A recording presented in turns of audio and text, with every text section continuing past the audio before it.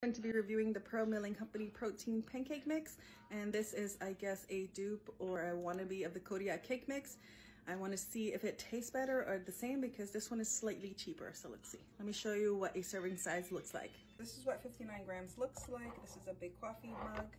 Um, the Pearl Milling Company is 210 calories for 59 grams and 15 grams of protein in comparison to the Kodiak, you're getting 220 calories, 15 grams of protein, but you do get four more grams of mix. So pretty similar to macros.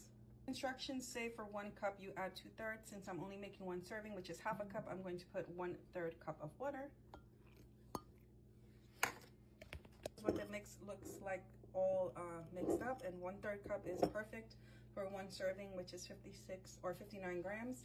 I'm going to be using my mini dash griddle to cook up the pancakes. Now let's see how many pancakes we can make with this mix.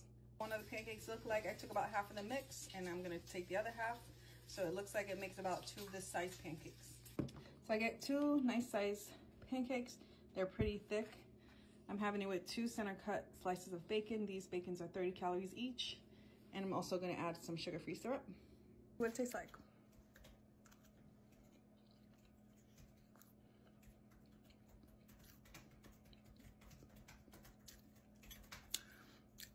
So I think I like these better. Um, Kodiak Cakes has more of like kind of the wheat whole grain flavor. I think that's from the protein.